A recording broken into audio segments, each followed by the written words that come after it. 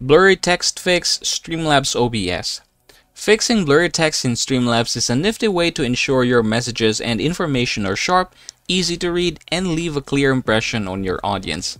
Now, some of us make mistakes. These mistakes include having these bad and blurry text. Now, let's try to find a way in order for us to solve this. So what I have here are two kinds of text, this one here and this one down below. So this one down below, as you can see, is very clear, while this one at the top is somehow unreadable. It's very blurry and we're going to try to fix that.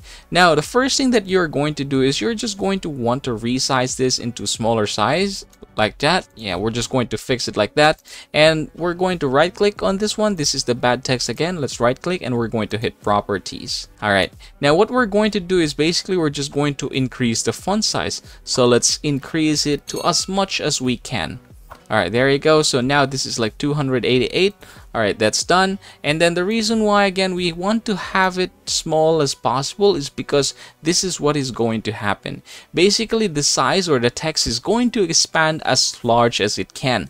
So that's why we wanted it small so we can have it not too large for later on. So this is what we're going to do now. We're just going to resize this in order for this to fit to our screen Alright, so as you can see now, we are now having two good texts. And now it's very readable, it's very clear, and congratulations everyone, that's how you're going to fix blurry text on Streamlabs OBS. And by the way, I would highly suggest to upgrade to Streamlabs Ultra to level up your streaming quality and experience. You can save up to $10 of discount right away after clicking on the link in the description box and the comment section below.